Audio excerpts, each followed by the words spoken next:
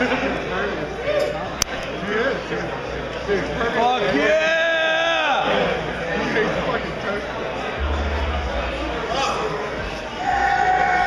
Alright, buy our CD. This song's not on it. Buy it anyway.